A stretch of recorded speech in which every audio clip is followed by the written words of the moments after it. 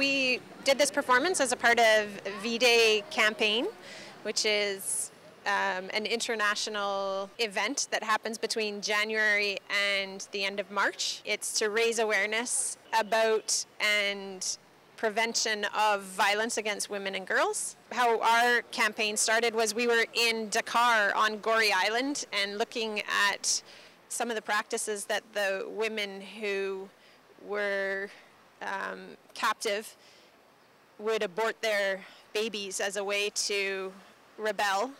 And one of our students said, uh, just we were just talking about the atrocities, and she was curious about women's issues and wanted to learn more. And I have been a part of V-Day campaigns in my own community in Jasper, Alberta, Canada, and we've done performances uh, of the Vagina Monologues, which is another play of stories put on. Um, Eve Ensler is the creator of the Vagina Monologue. She went around the world interviewing women about um, their life experiences and so she is the creator, the co-founder of uh, V-Day.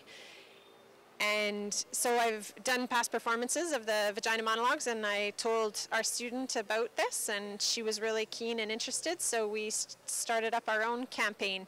And because the memory monologue Rant and a Prayer also allows for male performers, the Vagina Monologues doesn't have male stories in it, but this one that we chose to do does.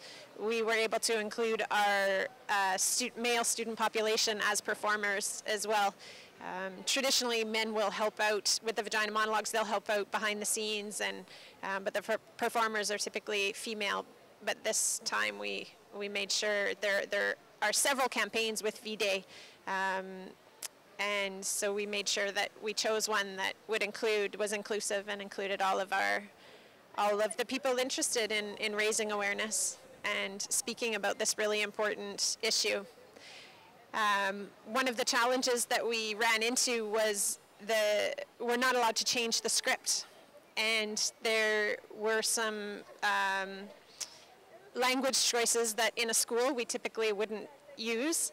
However, when we consider the atrocities and the profanities of the acts that we're speaking about, um, that the, the message is that uh, we, we are breaking the silence and um, it's the, the shame and the silence that perpetuates the violence. And so uh, being able to reclaim especially language um, so that it's not used as a weapon is a part of the campaign and, and a part of giving voice to people's stories who may not have been heard before or who were kept silent by shame all of the funds that we raise today, 100% uh, go back to the cause. So 90% will stay here in Hamilton with the Center Against Abuse, and then 10% gets sent to the V-Day campaign, uh, their annual Spotlight campaign. This year it's called 1 Billion Rising, uh, to represent the 1 billion women and girls in the world. And um, so you can, you can certainly donate by just going and giving to the Center Against Abuse. You can also visit the website vday.org to make donations. And we are heading out, so you can't give us donations, but you can just donate directly to the organizations.